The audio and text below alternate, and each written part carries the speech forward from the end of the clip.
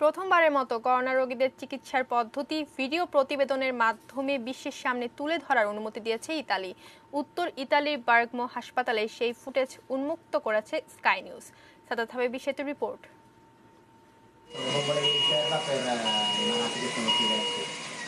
They're fighting a war here and they're losing.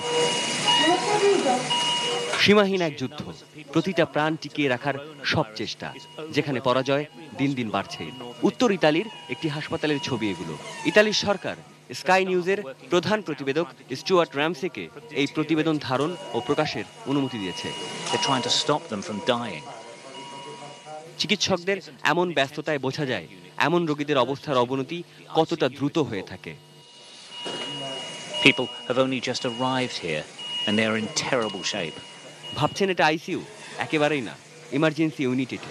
আইসিইউতে আর জায়গা নেই। করোনায় আক্রান্ত হয়ে প্রাথমিকভাবে রোগীরা এখানেই আসেন। আর একটু অক্সিজেনের জন্য রোগীদের এই আকুতি।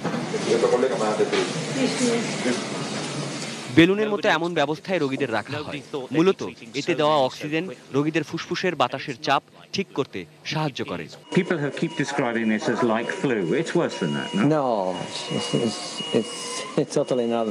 এটা ফ্লু না নিউমোনিয়া হাসপাতালে আসা রোগীদের সবাই ক্রমিক নিউমোনিয়ায় ভুগছে। প্রতিদিন এখানে যে পঞ্চাশ থেকে ষাট জন রোগী আসছে তাদের ভেন্টিলেশনের মাধ্যমে অক্সিজেন দিয়ে রাখতে হচ্ছে। যে কোনো দেশের স্বাস্থ্যসেবা ব্যবস্থার উপর এমন চাপ সামলানো কঠিন ব্যাপার।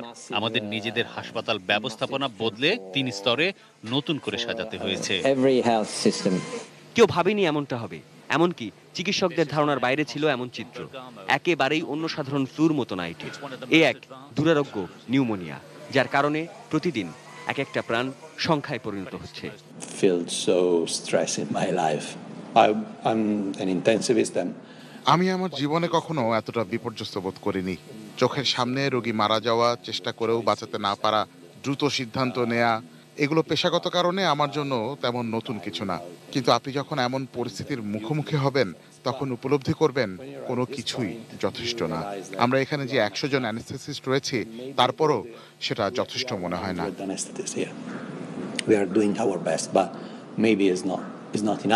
বার্গেমো হাসপাতাল শুধু উত্তর ইতালি বা ইতালি না পুরো ইউরোপের অন্যতম সেরা হাসপাতাল।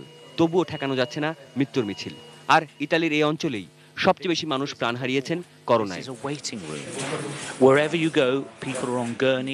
চায়নায় যেখানে করোনায় মৃত্যুর হার দুই শতাংশ ইতালিতে এই হার নয়।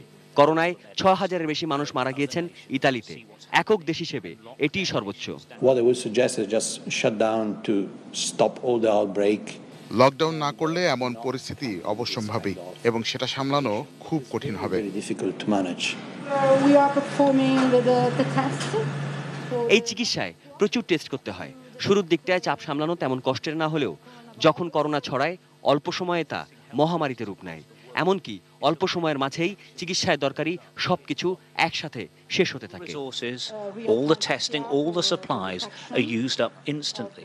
ইতালিয়ানদের কাছে সর্বনাশা করোনা চরম বিপর্যয় যা গোটা পৃথিবীকে বার্তা দিচ্ছে সতর্ক হও হও প্রস্তুত their message to us is simple get ready. Saadat হাবিবি সেতু এটি নিউজ ঢাকা।